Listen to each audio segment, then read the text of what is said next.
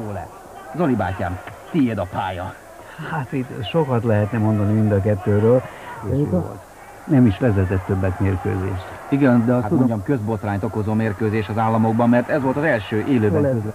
69-ben nyerte el a világversenyen Curtis Cox ellen, a visszavágón is győzött, és aztán jött a Griffith meccs 69. október 12-én, amit a Napoles nyert pontozással 15 menetbe.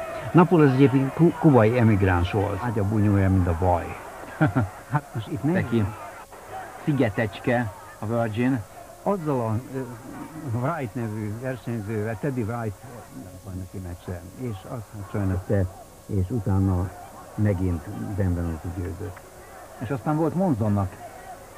Monzonnal is két hatalmas összecsapása a Griffithsnek, mind a kettő vereséggel végződött, 71-ben és 73-ban. Monzonnal fölment középsúlyba, ott technikai kiütéssel maradt alul a hetedik menetben, aztán még négyszer megvédte a világbajnoki címét, és végül abban az időszakban. jellegzetes közel belharc.